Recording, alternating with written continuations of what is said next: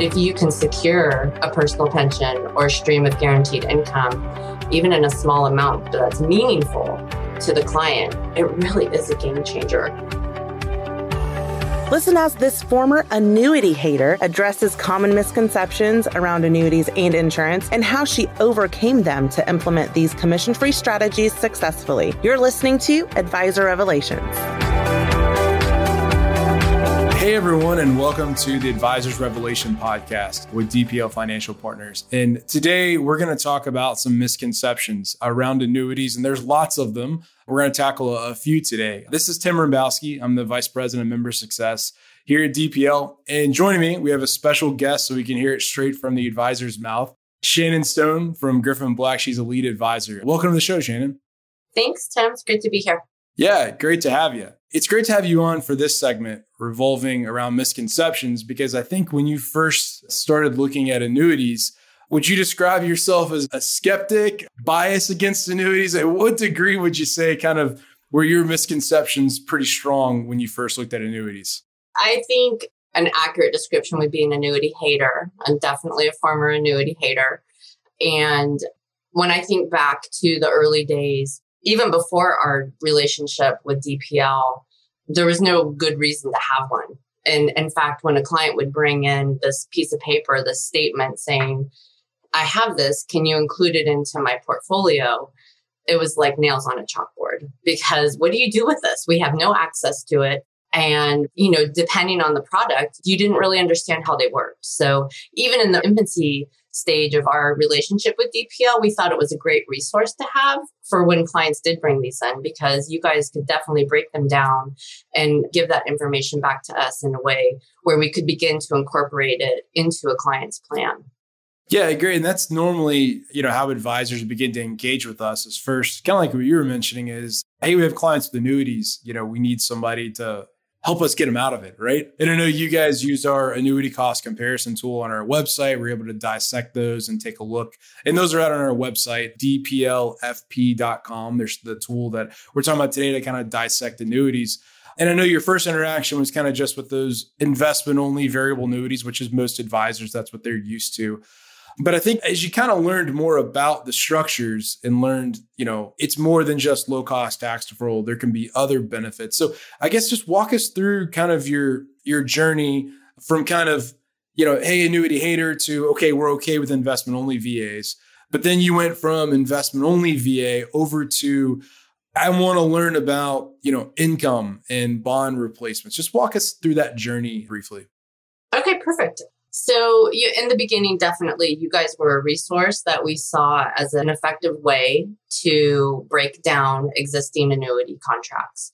And then, as we began to develop our relationship more, we were able to bring to existing clients who had large investment only variable annuities a lower cost reduction, which they loved. That, you know, we were able to bring these ideas to them and, and show them ways over time that they could save money and then at some point, you know, through many conversations and with the interest rate environment just, you know, basically flat and at zero, we were looking for, you know, alternatives to bring into the overall asset allocation that could, you know, provide guaranteed income for life.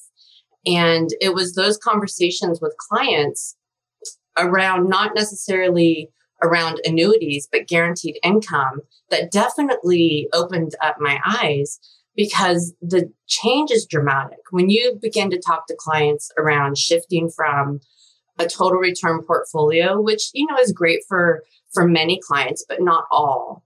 But for those who are really concerned and are expressing those anxieties around approaching retirement and through retirement and not sure that they're comfortable with a potential lumpy distribution. And then once we really brought it into the financial planning software, that's where I was really convinced, especially in a longevity scenario. The annuity conversation can address so many concerns for clients on so many levels, whether it's liquidity because it's going to provide them X amount of income every year that they can feel confident about, and then also that longevity risk. It provides that additional longevity risk. And depending on the type of product, you know, putting the client into or introducing them to what concept they feel most comfortable with, there are guardrails there's increasing income, but there's, you know, overall what I found to be feeling that I was doing the right thing. And then I think I also had this time where I felt kind of bad about not being open to annuities before. Mm-hmm. Um, as a fiduciary, you know, our job is to put our clients' best interest first. If I have someone across the table from me expressing concern and anxiety about market volatility and being in retirement and not being able to generate the income that they need, I mean, that's my job. It's what drives yeah. me to to be here. I mean, it's what I'm most passionate about. So the annuity world has definitely opened up a world of possibility. It doesn't mean that it's for every client, but for those, you know, who are expressing, you know, certain concerns around retirement, there's always an opportunity, I think, to see if it fits and if it can enhance a client's picture. So I'm not as quick to unwind an annuity when a client brings one in as I used to be. Sure. And if there are good annuities that a client has come in with, then I get to figure out how to work with them. Yeah, it's interesting. Second you were talking about if client's okay with a, a lumpy distribution strategy. And uh, I've read a number of articles over the last few weeks because obviously with bond returns being lower and you know guaranteed income sources disappearing, it seems like the 4% rule continues to change. It's coming down to like three, three and a half. You get Wade Pfau talking about it's two. And the other thing that I was reading too was that kind of the strategy for most advisors over the next couple of years because a lot of people are anticipating you know low market returns. They're basically telling their clients hey you might think about spending less over the next couple of years until we get through some of this. So it, sounds like instead of having those conversations a lot of times you're starting to maybe incorporate the annuity as opposed to talking about we should probably spend less or maybe 4% is not the right number for you. It sounds like you're using the annuity now to combat some of those conversations well, I think the annuity can definitely enhance the conversation. It doesn't necessarily, well, and to your point, Tim, I think during times like this, these uncertain and, and highly volatile times, I think retirees, they automatically I think pull back on the spending. I mean, given mm-hmm. you know where we're at today with inflation, you know, insanely high, but the annuity can at least build that floor and give them that floor to have that confidence around, okay, so I don't need to turn to my portfolio for other spending maybe over the next year or two. I've just experienced with clients who have purchased annuities to build that floor. They're much more at ease with market volatility. And that doesn't take it all off the table. You know, sure. over the last couple of years in the pandemic, I've seen some clients unwind large parts of their portfolio because they were coming unraveled. And those were the, I guess, the warning bells to me saying there's got to be something more that we can do to build in certainty and confidence with clients, you know, approaching the red zone or in the red zone of retirement who are now concerned about, you know, whether they can retire or not at all. So, no, this is a great conversation. Let's talk about uh, a couple misconceptions for a minute here. So, one that we've we've heard quite often, and I think it's a little easier to talk about today than it's been in the past. But one has been that my fixed income portfolio can outperform an annuity. So, you know, why would I use an annuity when my bond portfolio? Now, I mean, what's happened over the last, you know, six months is I think the ag's down, you know, 10% year to date. Here we are in June. Yeah. But let's just talk about it in historical. So I don't want to just cherry pick just this time. Let's talk about that historically.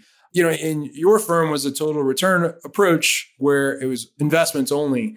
So how did you go from that concept of like, hey, my bonds are going to outperform an annuity, but now we're talking about guaranteed income. So how did you kind of overcome that idea that it's not all just about performance that guaranteed income should be included as part of kind of the uh, you know the characteristics of that investment type actually you just kind of said it when you take performance off the table, it's not about performance. For me, how do you weight into a portfolio certainty and confidence? Now, granted, I mean, annuities are safer than your traditional investment total return portfolio. But how do you weight that into an asset allocation where a client can turn to this portion? And we do include it as part of our fixed income allocation for those clients who own annuities, but it serves a different purpose it's not there for performance, even though the payouts are increasing and tend to be higher than a bond portfolio. It serves a different purpose. And that's kind of where I go, you know, explain that to a client. It serves a different purpose than the rest of your portfolio, but it acts as a income stabilizer. Yeah, you're probably getting the majority of your performance from stocks anyways. So, you know, bonds are just kind of the the safe portion. So, you know, as long as I guess the annuity, you're not losing money, right? You're probably doing okay. And I think with the annuities that are available today, a lot of even just the, the fixed account, the most simple choice is still around three, three and a half percent today. So you're yeah. really not giving up much in performance even after fees and everything, right? Correct. And those annuities that are in place today over the last year are not down 10%. They um, are either up slightly, you know, depending on, you know, the contract year or they're flat for the year. But those clients who own them are feeling grateful that, you know, for this year, they're, you know, it's even versus a 10% loss like the rest of their portfolio. Yeah, that's what I was going to ask you about. So this is something, you know, that you've incorporated in over the last few years. How have the client conversations been? So with those clients that actually did make the change where they went from an investment only approach, now they've had the annuity in place maybe for a year or two. How have those conversations been going with them, especially with all the market volatility? Does the conversation with the annuity client is it different than the client that doesn't have the annuity? I would say yes, absolutely. So three cases come to mind actually where they have specifically talked about they're so grateful that they have the annuity. An ultra high net worth client who actually surprised me that when they made the decision to put the annuity into their portfolio for all the reasons why someone that would want an annuity because they want that idea of guaranteed income. Clearly, when they have enough other assets to self fund whatever spending shock they may incur over the next 30 years of their lives. But he specifically said he feels so much more peace of mind of having this annuity, knowing that he has this guaranteed income in addition to his other sources, and that he can just not necessarily ignore his portfolio, but he's just so much less concerned with the outcomes while we're going through market volatility. And that was something that I introduced to him around at the beginning of the pandemic. And two years later, I just had a conversation with him not too long ago, and he's he can't thank me enough for bringing this concept to him. And he's so thankful for it. On the other side of that, I have another client who does not have enough to self fund in the future and she's still working but often turns to you know the annuity where she knows that she's going to have x amount of dollars per year in addition to her social security and it covers all of her spending and so then everything else that's invested in a total return portfolio she you know nobody likes to see their portfolio down no. but as we all know investing comes with ups and downs but she feels more confident knowing that as you know the last few years, because she's definitely in that retirement red zone, the more she can work and stretch it out, the better off she's going to be. But she feels much more confident knowing that she has this additional piece on top of Social Security to fund her expenses. Yeah, that confidence is huge, especially dealing yeah. with these turbulent times because I know part of it is just asking the client to you know stick to the course, stick to the plan, right? Yeah. Uh, so yeah. the more confidence you can give them that the plan is still working even turbulent times, the better. Yeah, there's another client that comes to mind who recently retired actually at the beginning of the year, and I really feel for him. Mm. He is, you know, up at night, you know, riding the market waves. And we're getting emails and calls, and I want to bring an annuity to him for consideration. And so we're working on that. It's just, it's painful. I think as fiduciaries, as planners, as being in the investment world, I think we love being with clients and watching them reach their goals. And this area of retirement can be so riddled with uncertainty. And it's hard to work your whole life, save, invest, to, you know, hopefully maintain purchasing power throughout what's going to be your golden years and to see clients not be able to sleep at night or, you know, because they're up in the middle of the night or worrying about their returns. Am I going to run out of money? It's just such an interesting time around retirement. One thing you talked about was keeping up with purchasing power. So, one other thing that I hear a lot of times that's a misconception is, well, annuities lose purchasing power over time because they don't keep up with inflation. So that's great that you can pay me X amount at 60, 65, but at 85, 90, that's not going to work. Now, I know one thing that you've learned about is these new generation of annuities that provide these ways of keeping up with inflation. So don't need to go through the mechanics of those, but how mm-hmm. has that changed your outlook now that you know that annuities actually have the opportunity to, you know, grow and offset some of that inflation over time? There's no reason to not look at an annuity into a portfolio, a client's picture to see if it can enhance their overall outcome. And more times than not, I would assert that in a longevity scenario, that you'll have a better probability of success with an annuity versus without an annuity. Because you do have that opportunity for increasing income over time. And it can definitely help the client. And while while right now it may not be you know better than inflation but over time and you know inflation the historical norms it absolutely can. And again it's for clients who love the idea of guaranteed income and i've yet to have one person say no i'm not interested in guaranteed income. It's not until you say the word annuity where it then becomes like the term reverse mortgage. so when you plug it into the financial planning software, and when the client begins to understand the inner workings, that it's not necessarily annuitization, and there's an opportunity to have increasing income over time. I hate to sound so repetitive, but it is. It's a game changer, in my opinion. Yeah, and I think you're right. I mean, the, biggest thing is just run the numbers, right? Just run the numbers yeah. and see if they make sense because it's not that difficult. You know, there's the software and the plans in place now where you can easily punch this into a client's plan and you know see the results. So I think that's the biggest challenge is just just test it out, right? There's one other misconception I want to hit before we wrap up today. So I know, like for example, in your role at your firm, you know, you work with everything from you know an average client all the way up to ultra high net worth. I know we've talked about clients in excess of you know 50, 60 million dollars before, and we've talked about you know average households. So you know, one thing that we hear a lot of times is that you know my clients can self insure. They don't want or need annuities. They have plenty of money um, annuities are only for you know the five hundred thousand dollar client that's about to run out of money. And I know, like especially with a larger client, you were talking earlier about like, hey, clients love guaranteed income until you mentioned the annuity word. Uh-huh. So, you know, I guess tell us from your perspective. I mean, there's some reputational risk when you recommend an annuity to a client because it's like they're going to recommend an annuity that can be, you know, it sounds so simple, right? We should have this fancy investment approach. So, I guess tell us just a little bit about you know, for somebody that thinks, hey, my clients are all high net worth, they don't want or need annuities, and I'm actually, I don't want to take an annuity to them because there's some reputational risk for me to do that. What would you say to somebody that kind of has that concept, knowing that, you know, you've done this multiple times? I would say if your book, all your clients are ultra high net worth, I wouldn't count them out that they are not right for an annuity.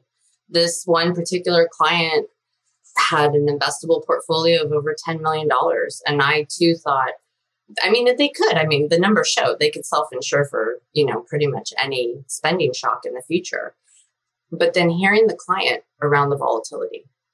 So, had an experience five years prior with them around another incident. So, we developed one strategy to kind of build up a short term, short term buckets for security, larger buckets.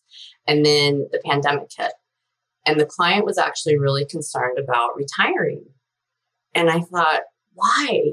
I mean, from everything from our perspective, you guys look great. You know, they're not hyper consumers. You can retire. he yeah. was terrified of retiring. And so it was drilling down to all the whys. You know, why, why, why, why?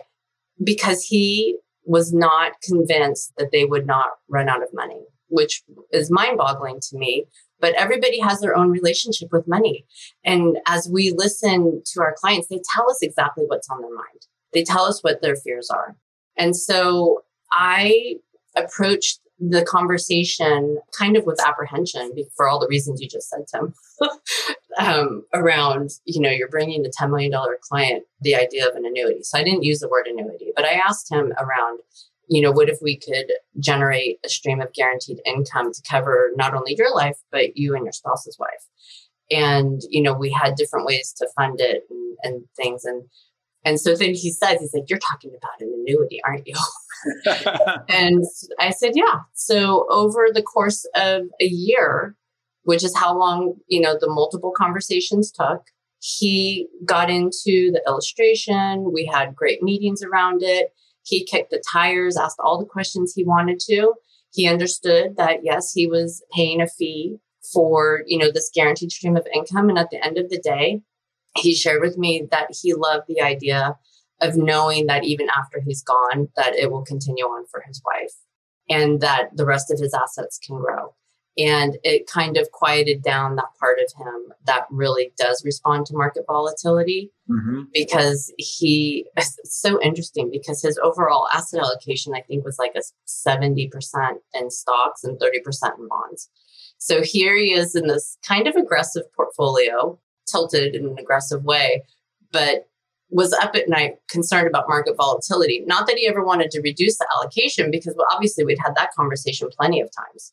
But he's built around these guardrails or, you know, built the guardrails, if you will, to help protect for him to feel protected and confident around going into retirement.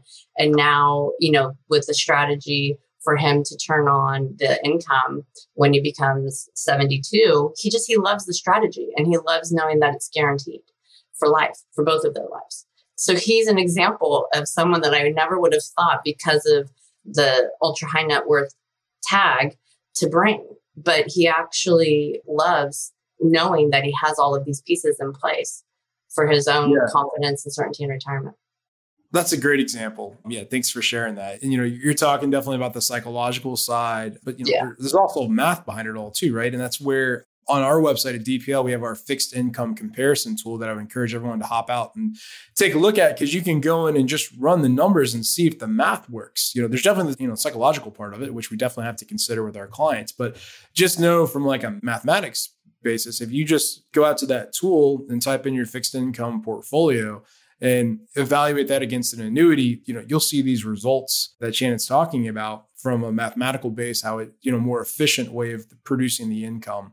So, yeah, this is a great conversation, Shannon. Thank you so much for joining today. I know you've been a member with DPL for a long time and it's been a journey. And we've come a long way from annuity hater to now you're recommending yeah. annuities to $10 million clients. So, it's uh, fantastic. You know, that's why we call this advisor revelations because it sounds like you've had, you know, one of those huge revelations.